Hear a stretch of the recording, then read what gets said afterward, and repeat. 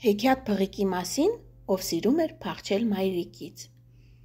Հեռավոր Հնդկաստանի մի անկյունում ապրում էր Պոչիկ անունով մի փղիկ։ Նա ապրում էր իր մայրիկի ու հայրիկի հետ։ Պոչիկը դեռ շատ փոքր էր, բայց միաժամանակ շատ քաջ էր։ Ամենից շատ նա սիրում էր սերուցքային պաղպաղակ ուտել ու լողալ գետի մեջ։ Հնդկաստանում շատ շոգ է, եւ դա նրան օգնում էր մի քիչ հովանալ։ Պոչիկը շատ էր սիրում համեղ թփերի մեջ զբոսնել ծնողների հետ։ Նա միշտ ինչ-որ բան էր ծամում, որ շուտ մեծանա, ու նա հաճախ կորում էր թփերի մեջ, որովհետև փախնում էր ծնողներից։ Նրան թվում էր, որ հերվի թփերն ավելի համեղ են, քան մոտակա թփերը։ Նա իր կնճիթով բռնում էր մայրիկի պոչն ու քաշում հակառակ կողմ։ Պոչիկ, միշտ ապիր, շուտով այնտեղ էլ կհասնենք։ Բայց փղիկն անամփեր էր, Նա գնում էր հեռու ու հասկանում, որ մոլորվել էր։ Այդ ժամանակ նա սկսում էր լացել ու մայրիկին օգնության կանչել։ Լավ է, որ բոլոր փղերը մեծականջներ ու հետավաբար նաև լավ լսողություն ունեն։ Պոչիկը միշտ գտնվում էր։ Փոքրիկ, չի կարելի հեռու գնալ։ Հնդկաստանում շատ վտանգներ կան։ Ես ինչից պիտի վախենամ։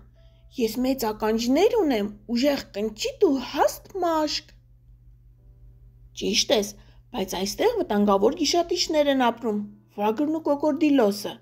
Նրանք շատ ճարպիկ են, արագաշարժ ու կարող են քեզ վնասել։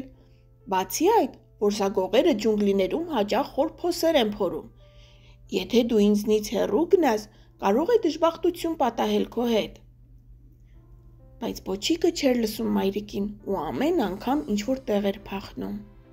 Մի անգամ էլ Պոչիկը որոշեց լողալ գետում ու չսպասեց մայրիկի համաձայնությանը։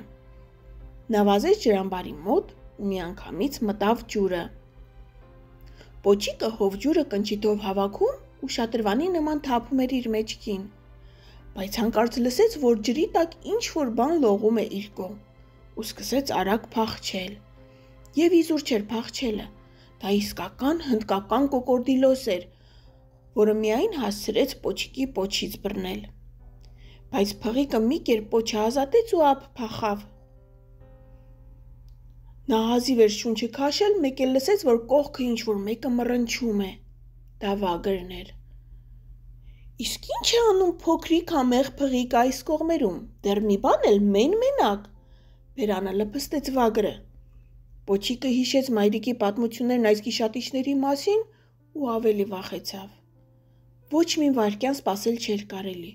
ու նա ինչքան ուժ ուներ։ Կնճիթով ձայներ հանեց ու ոտքերով դոփեց գետնին։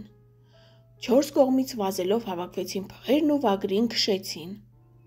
Շուտով Պոչիկը տեսավ մայրիկի վախեցած դեմքը ու սկսեց լազ լինել։ Փիղմայրիկը դեռ երկար պինդ-պինդ գրկել էր Պոչիկին։ Բայց հիմա դա արդեն դուր էր գալիս նրան։ Իսկ դու գիտես, որ միայն փղիկները չեն փախչում մայրիկներից, Փոքրիկ նապաստակներն ու գորտերն էլ են փախչում։ Փախչում են նույնիսկ փոքրիկ աղջիկներն ու տղաները։ Իսկ ինչքան վտանգներ կան թաքնված անտառներում, ճահճուտներում, քաղաքներում եւ նույնիսկ խանութներում։